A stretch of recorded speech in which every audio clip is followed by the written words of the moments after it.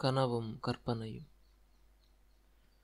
செம்பியன் வளவன் தன் மகளை அணைத்து கொண்டு அம்மா கண்ட கனவு எல்லாம் எப்பொழுதும் பலிப்பது கிடையாது. சில சமயம் பலிப்பதும் உண்டு. கனவுகளின் உண்மை கருத்தை கண்டுபிடித்து தெரிந்து கொள்வதோ மிக்க கடினம்.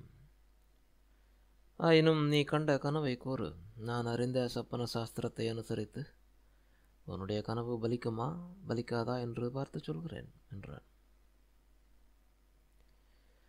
மகள் கண்டது ஏதாவது துர்ச்சப்பனமாயிருந்தால் அதற்கு ஏதாவது நல்ல அர்த்தம் கற்பனை செய்து கூறி அவளுக்கு தைரியம் சொல்லிவிட்டு போகலாம் என்று செம்பியன் நினைத்தான்.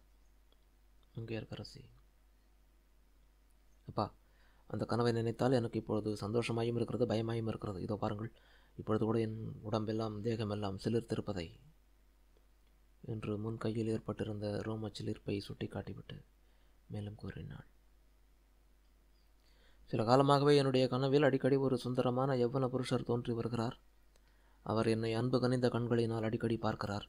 வெளி உலகத்தில் அத்தகைய ஒருவரை நான் பார்த்ததே இல்லை. நமது மாமல்ல சக்கரவர்த்தியை காட்டிலும் அவருடைய முகம் களையானது. அவர் என்னை பார்க்கும்போதெல்லாம் நீ எனக்கு உரியவள் அல்லவா? ஏன் என்னுடன் இன்னும் வந்து சேரவில்லை என்று கேட்பது போல தோன்றும். அப்பொழுது என் நெஞ்சு படபடக்கும். உடம்பெல்லாம் பதறும். நேற்று நான் கண்ட கனவிலும் அந்த சுந்தர புருஷர் தோன்றினார். ஆனால் மிக்க பயங்கரமான சூழலுக்கு மத்தியில் அவரை நேற்றிரவு நான் கண்டேன். அவரை சுற்றிலும் பத்து பன்னிரண்டு பிசாசுகள் அம்மானமாக நின்று ஏதோ கோரமான சப்தம் போட்டுக்கொண்டு கூத்தாடின அந்த பிசாசுகள் ஒவ்வொன்றின் கையிலும் மயில் இறகு கத்தை ஒன்று இருந்தது. சில சமயம் அப்பிசாசுகள் தங்கள் மத்தியில் நின்ற சுந்தர புருஷர் மீது மயில் கத்தைகளை வீசி அடிப்பது போல் தோன்றியது. அவர் பாவம் ஏதோ ஒரு தேக உபாதையினால் கஷ்டப்படுகிறவர் போல் காணப்பட்டார். இதற்கிடையில் அவர் என்னை பரிதாபமாக பார்த்து இந்த பிசாசுகளிடம் நான் அகப்பட்டு கொண்டு விட்டேனே. என்னை நீ காப்பாற்ற மாட்டாயா? என்று கேட்பது போல் இருந்தது. நான் உடனே திரும்பி ஓட்ட ஓட்டமாக ஓடினேன். எங்கே ஓடுகிறோம் என்ற நினைவை இன்று நெடுந்தூரம் ஓடினேன். கடைசியாக ஒரு கோவில் தென்பட்டது. அதற்குள் பிரவேசித்தேன். கோவிலுக்குள் அப்பொழுது யாரும் இல்லை. அம்பிகையின் சன்னதியை அடைந்து முறையிட்டேன். தாயே என் உள்ளம் கவர்ந்த புருஷரை நீதான் காப்பாற்ற வேண்டும் என்று கதறினேன். குழந்தாய் பயப்படாதே. என் குமாரனை அனுப்புகிறேன். அவன் உன்னுடன் வந்து உன் விருப்பத்தை நிறைவேற்றுவான் என்று ஒரு அசரீரி பிறந்தது. அசரீரி சொல்லி நின்றதோ இல்லையோ? அம்பிகை விக்கிரகத்தின் அருகில் திவ்ய மோகன ரூபம் கொண்ட ஒரு பாலன் நின்றதை பார்த்தேன். என் குமாரனை அனுப்புகிறேன் என்று தேவி சொன்னபடியால் வள்ளிநாயகன் தான் வரப்போகிறார் என்று எண்ணினேன். ஆனால் அங்கே நின்ற பிள்ளையோ விபூதி ருத்ராட்சம் தரித்த சிவயோகியாக காணப்பட்டார். இனிமையும் சாந்தமும் நிறைந்த குரலில் அந்த பிள்ளை தாயே என்னுடன் வா. உன் நாயகனை காப்பாற்றி தருகிறேன் என்றார். அந்த தெய்வீக குழந்தையின் திருவாயில் உன் நாயகன் என்ற வார்த்தைகள் வந்ததும் எனக்கு மெய் சிலிர்த்தது. உடனே உறக்கம் நீங்கி எழுந்துவிட்டேன். அந்த சுந்தர புருஷர் காப்பாற்றப்பட்டாரோ இல்லையோ என்ற சந்தேகத்தினால் இன்னமும் என் உள்ளம் துடித்து கொண்டிருக்கிறது.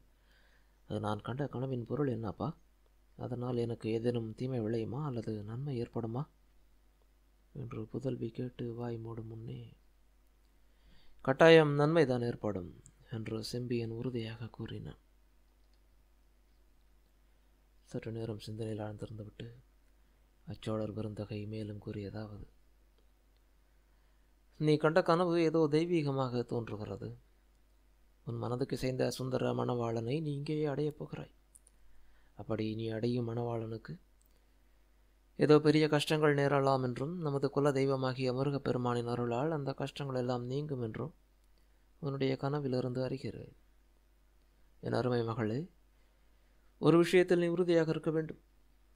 நான் இல்லாத சமயத்தில் உன்னை தேடி அதிர்ஷ்டம் வந்தால் அதை நீ வேண்டாம் என்று தள்ளாதே. ராஜகுலத்தில் பிறந்தவன் எவனாவது உன்னை கரம் பிடிக்க விரும்பினால் அப்படிப்பட்டவனை மணந்து கொள்ள இப்பொழுதே உனக்கு நான் அனுமதி கொடுத்து விடுகிறேன். போர்க்களத்திலிருந்து நான் உயிரோடு திரும்பி வந்தால் உன்னையும் உன் மணாளனையும் பார்த்து ஆனந்த கண்ணீர் சுரிந்து ஆசீர்வதிப்பேன். ஒருவேளை போர்க்களத்திலே உயிர் துறக்கும்படி நேரிட்டால் ஆவி வடிவத்திலே திரும்பி வந்து உங்களை ஆசீர்வதித்துவிட்டு அப்புறம்தான் வீர சொர்க்கத்துக்கு போவேன்.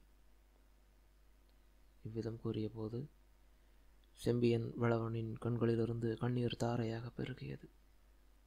மங்கையர்கரசியும் தந்தையின் விசால மார்பில் முகத்தை பதித்து கொண்டு விம்மினாள்.